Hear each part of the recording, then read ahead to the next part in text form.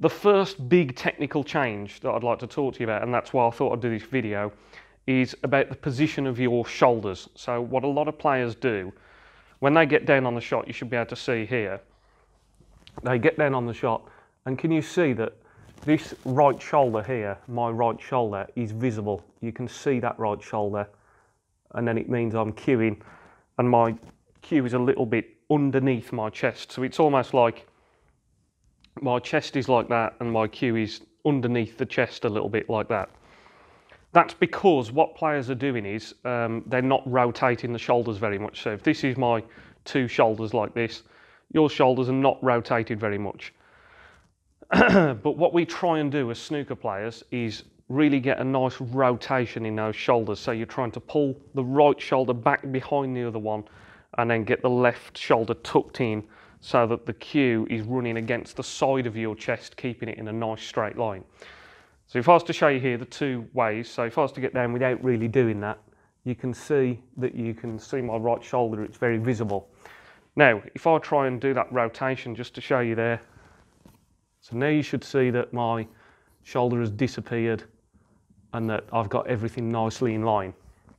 So when I'm doing that, I'm getting a nice twist there as I get down everything's nicely in line and I've now got the cue against the side of my chest and it's a really good guide for keeping the cue on line. Now when you first try and do that it does feel quite strange for players to do it because when they're not used to doing that bit of a twist as they get down it can feel a little bit awkward and a little, awkward and a little bit unusual. But it's a good change to make because as you can see from the two different styles there, so if I don't do it, you see my shoulder and my my hand is right next to my hip. Whereas when I get my shoulders rotated, I've got the cue against my chest, everything's tucked in, everything's nice and neat, and it means that I've got a nice guide for keeping the cue in a straight line.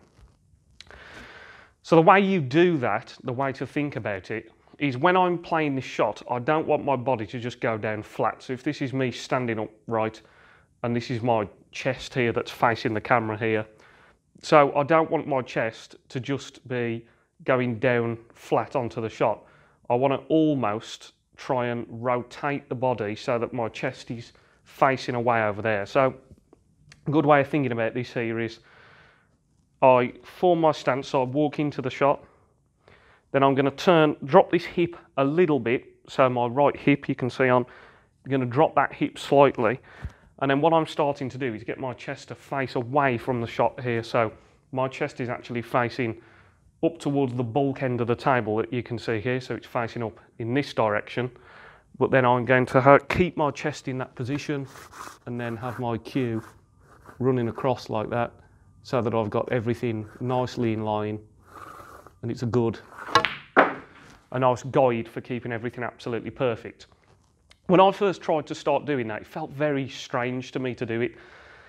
Um, it felt like, you know, you're deliberately twisting your body and it feels a bit uncomfortable. So a good thing to think about when I'm trying to do that is you don't have to aim for 100% perfection straight away. You can try to uh, work on that slowly. So the more you think about when you get down, just having that little bit of a rotation as you get down to the shot, the more you'll start to do it gradually and the better you'll get at it.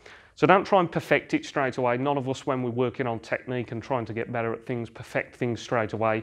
We just become conscious of something and we just work on it over time and get better and better at doing it.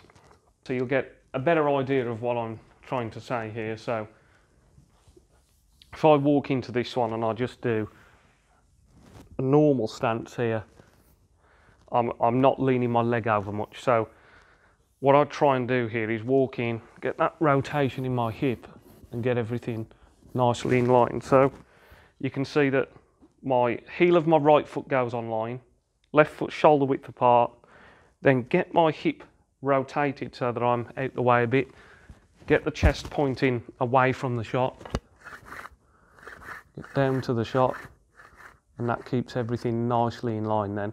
That's my textbook setup on the shot there and I've got my chest contact right against my chest here so that the cue is staying online.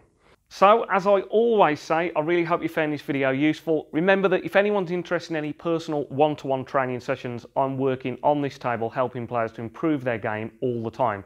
So if you look in the description, you'll find my website, my contact details. Feel free to get in touch and I'd love to help you with your game. As always, if you did enjoy the video, remember to give it a like. If you're new to the channel and you haven't already subscribed, please consider subscribing. That just really helps me to keep all this content coming. And as always, I'll catch you in the next one. Cheers.